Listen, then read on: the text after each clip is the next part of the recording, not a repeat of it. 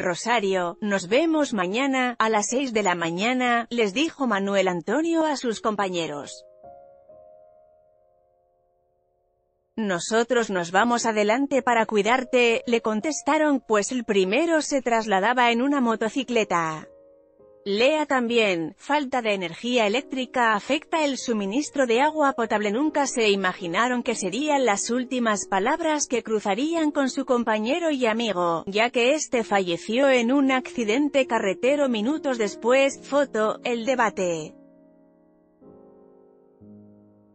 Lea también, vientos tumban la producción de mango en comunidades de Rosario El hecho ocurrió a las 10 horas en el tramo El Rosario-Los Oteits de la carretera federal México 15. Quien perdió la vida es Manuel Antonio, alias El Pájaro, de 21 años, vecino de la colonia Valle Nuevo, en la ciudad del Rosario. Foto, el debate.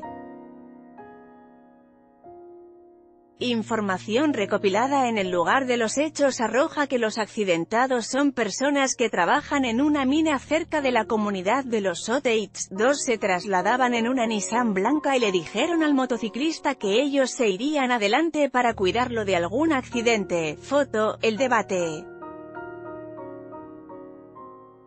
Fue frente a un empaque que se dijo que una camioneta Tracker modelo 2000, color gris, conducida por José Antonio, originario de Puerto Vallarta, circulaba de sur a norte e invadió el carril contrario y le pegó a la camioneta Nissan en el costado derecho. Esta dio una vuelta completa y quedó en sentido contrario. La camioneta alcanzó a golpear a la motocicleta y la arrojó fuera de la carretera, pero la tracker también quedó volcada entre la maleza. Foto, el debate.